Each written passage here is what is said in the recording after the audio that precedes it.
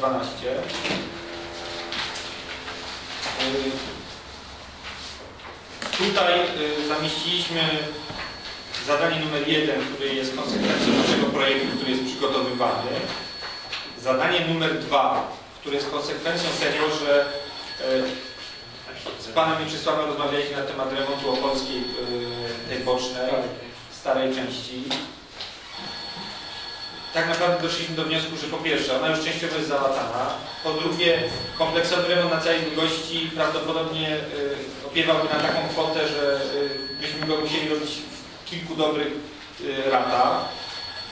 I dlatego z, z, no, w porozumieniu z panem Mieczysławem zaproponowaliśmy y, jako zarząd budowę stałego przejścia y, dla oświe- oświetlenia wzbudzanego na przejściu dla pieszych przy Krowodeckich Zuchów, przy KFC, oświetlenie stałe, sygnalizacja świetlna.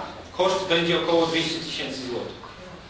E, Na pewno z e, spotkań, które mieliśmy do tej pory i tych konsultacyjnych z mieszkańcami, i tych przy innych okazjach, na Krowoczy Górce ewidentnie ta potrzeba się przejawiała kilkakrotnie. Punkt trzeci jest konsekwencją tego, co mamy w uchwale na ten rok.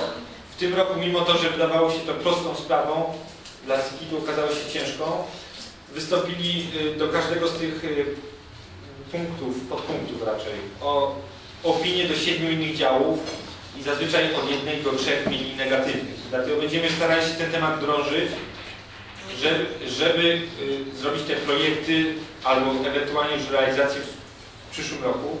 Rozmawiałem też z obecnym dyrektorem panem Marcinko od Sikitu, który powiedział, że jest do rozważenia taka możliwość, bo ja, oni to robią tak, jakby to miał być parking, a my mówimy tu o placu manewrowym, utwardzonym. To niech oni wysypią tylko żwir, a niech ludzie będą wiedzieć, co, zrobić, co z tym zrobić, sami to utwardzą, no. yy, wjeżdżając na to. No.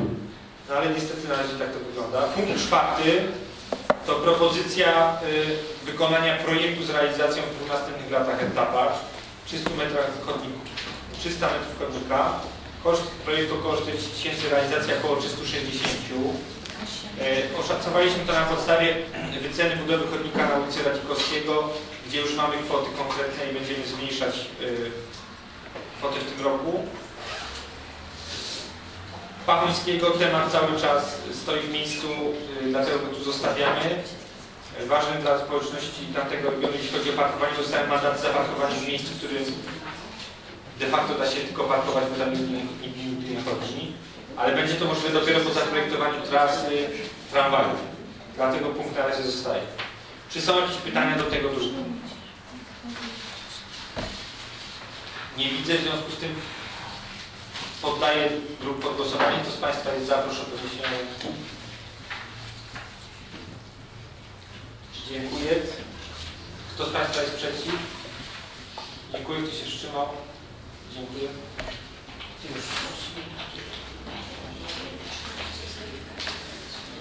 Dwanaście za, jeden przy- jeden przy- jeden zero przeciw. Y, Pani Ola mówi, że zgadza dlatego spróbuję jeszcze raz przyjść. Nie mam, że ja to za. Nie, nie, nie, nie zgadzam się. 12 za, 12 za, 1 Zero jeden przeciw. wstrzymał.